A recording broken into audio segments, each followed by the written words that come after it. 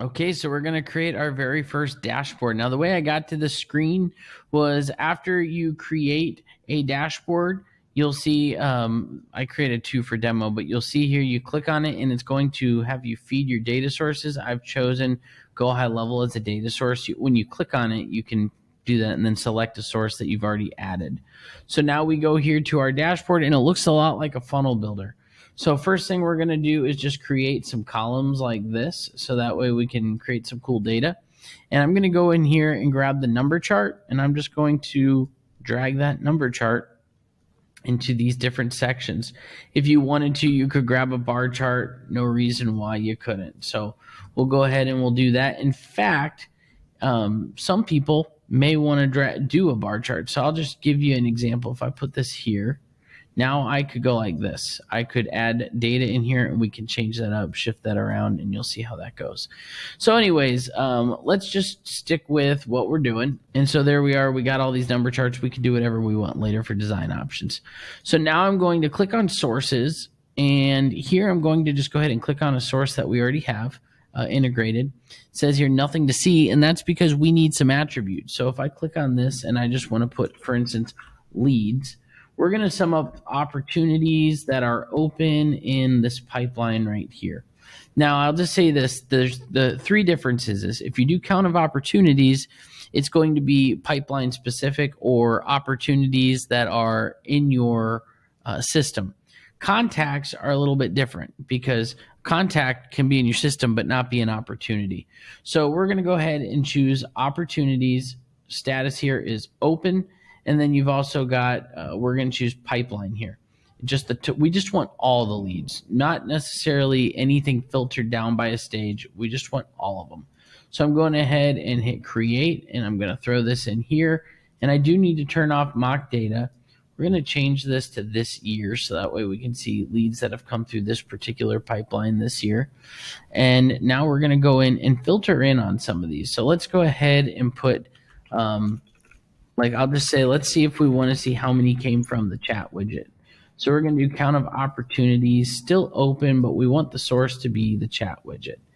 Um, and we're going to do this same lead generation pipeline. So we'll go like this, and I'm going to throw these in here. It shows 86 of them came from the chat widget. Now, if we want to see in here Facebook leads, Facebook Messenger leads, uh, Facebook ads is the one that's got the majority of these. So we can also go in here and type in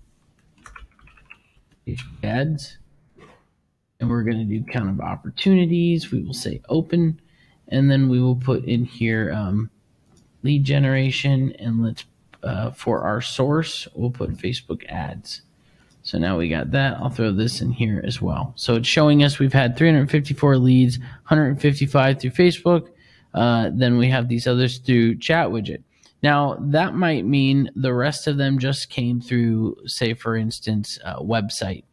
So what you could do if you want to make sure all the numbers always line up is we could go in here and put this custom source. It says nothing is here.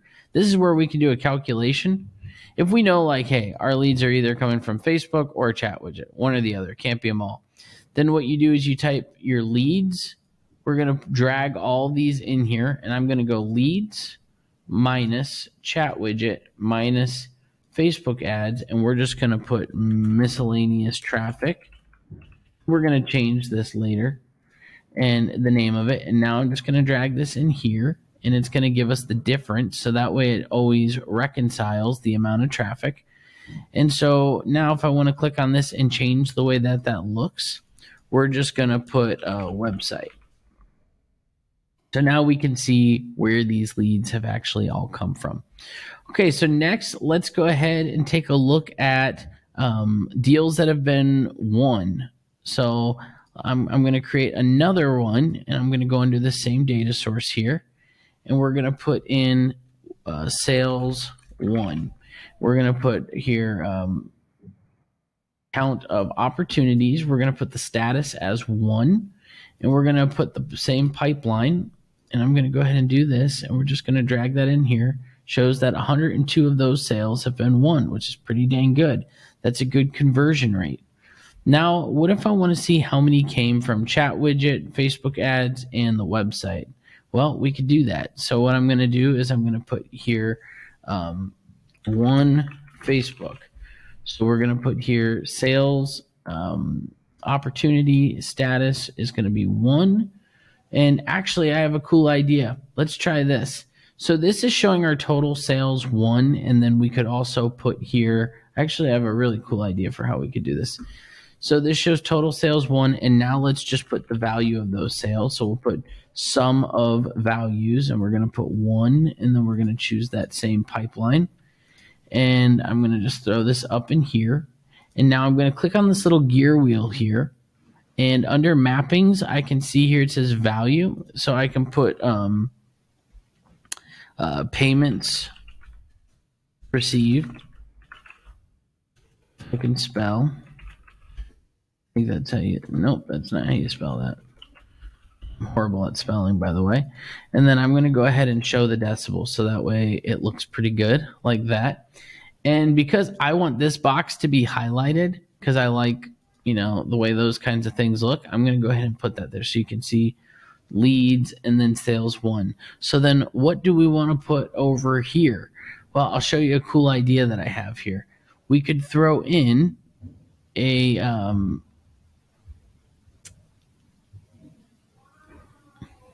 so then I'll show you what we have over here and I want to put in opportunities. So I want to see like sales opportunities that are still open, but uh, so what we have here this is what I'm going to do. I'm going to actually put in here leads. Uh, we're going to create a custom calculation.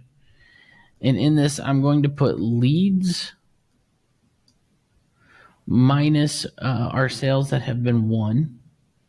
Now, keep in mind, I put open, so if somebody abandoned the sale, it's not going to um, show up in here, which is nice. So leads minus sales won, and this is going to put uh, remaining opportunities. I'm going to hit create. So now I have this here. I'm going to throw this up like that. And we are going to take away the little like that. And then I want to do, did I spell this wrong? Let's see.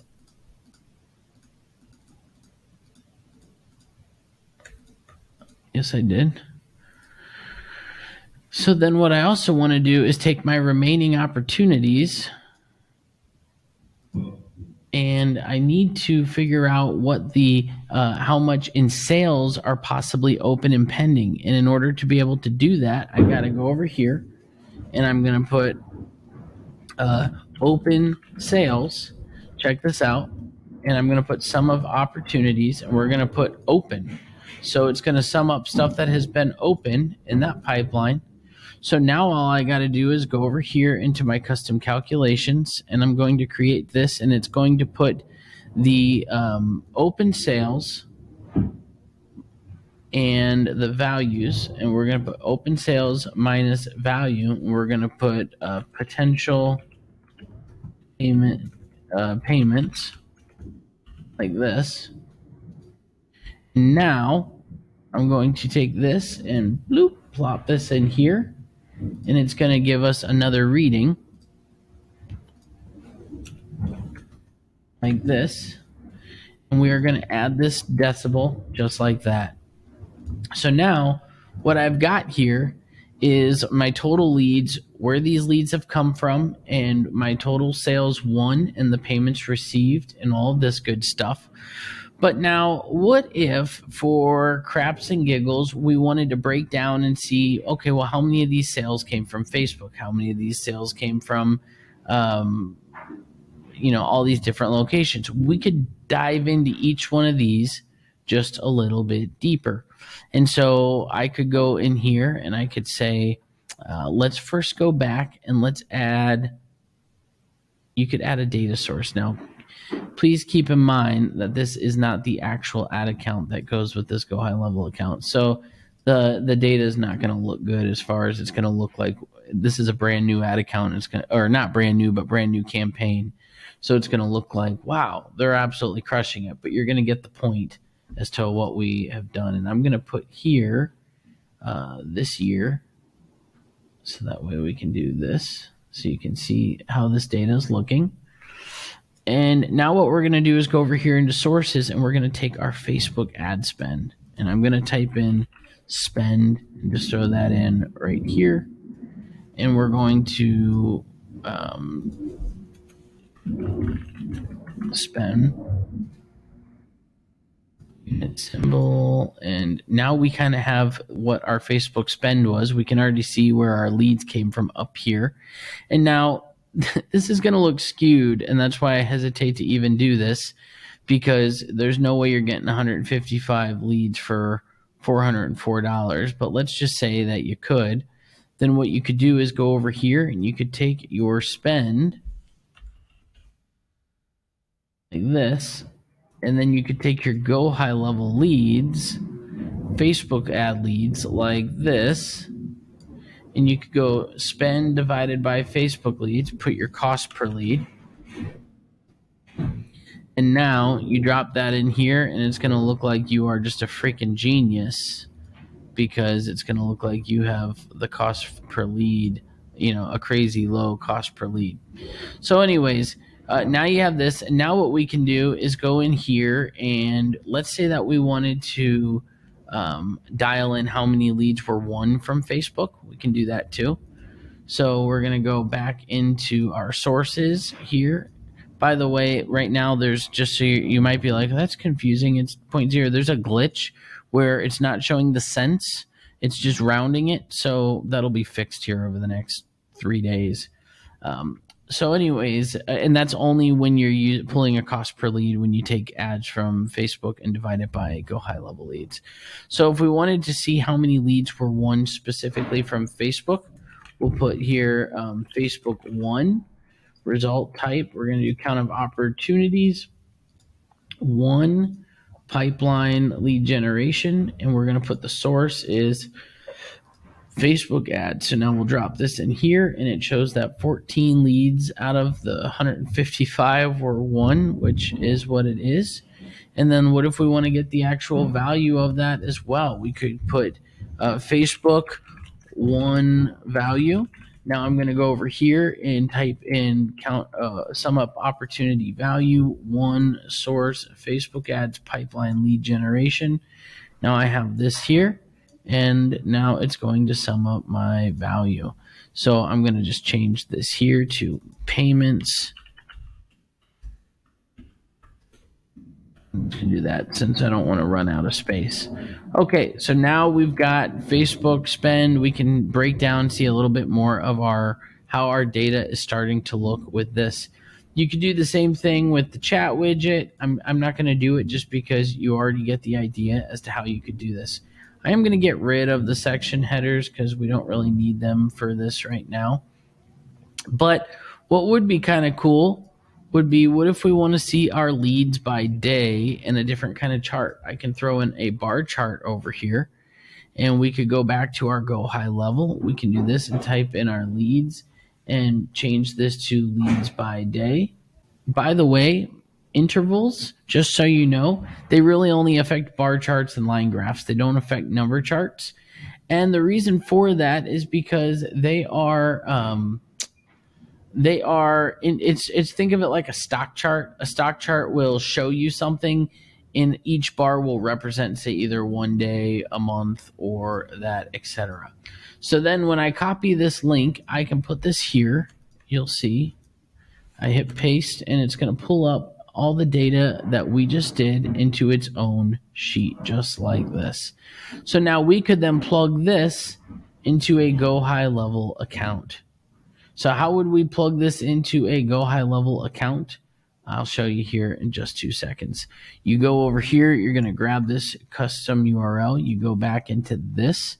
We're going to go into switch to agency view uh, we are going to go into our settings and then you can see a custom menu link. When you click on the custom menu link, all you have to do is hit create new.